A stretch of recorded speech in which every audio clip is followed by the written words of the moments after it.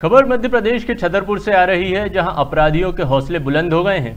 दरअसल दिन दहाड़े बस लूट ली गई, जहाँ सुबह सात बजे दो हथियारबंद बदमाशों ने वारदात को अंजाम दिया। जानकारी के मुताबिक, बस लवकुश नगर से सतना जा रही थी और राजनगर के पास बंदूक की नोक पर लूट की गई। मामला छतरपुर ज़िले के राजनगर थाना क्षेत्र का है। लुटेरों ने बस में सवार यात्रियों से सोना, चांदी और पैसे लूट लिए, जिसकी सूचना राजनगर थाने को दी गई। घटना के करीब 30 मिनट बाद पुलिस मौके पर पहुँची तो अपराधी भाग गए। एडिशनल एसपी विक्रम सिंह ने बताया कि यात्रियों के बयान दर्ज कर लिए गए हैं। छतरपुर से मुकेश भार्गव की रिपोर्ट। लूट हो गया।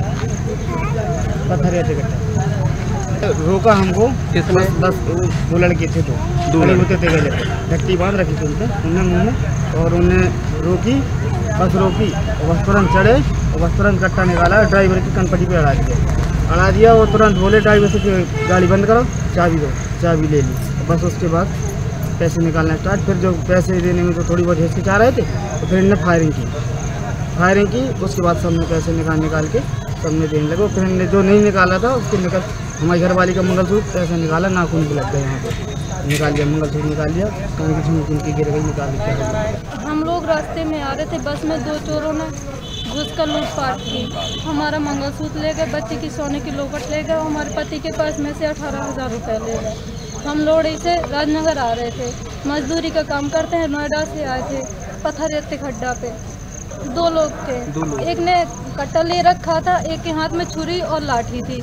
वो लोगों को बोल रहा था अगर नहीं दोगे तो मैं यहीं पे मार दूँगा तुम लोगों को। तीन फायर भी किए उसने उस कट्टे से। और फिर चला गया। फिर दोबारा भी आया वो। फिर उसने कंडक्टर के दोबारा छाती पे फिर से लगा दे बोल रहा गाड़ी का पिलक दे नहीं तो मैं यहीं पे मार दूँगा तुम लोगों को।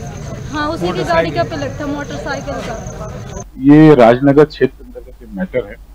और बस जो है लोकुश नगर से सतना जा रही थी। और चूँकि गंभीर मैटर था इमीडिएट सारे अधिकारी अभी स्पॉट में ही है। एस पी खजुराहो थाना प्रभारी। और चीज़ों को हम वेरीफाई कर रहे हैं। और टीम भी इमीडिएट बना दी गई है इसमें। सभी एंगल से हम इसमें साक्ष्य एकत्रित कर रहे हैं।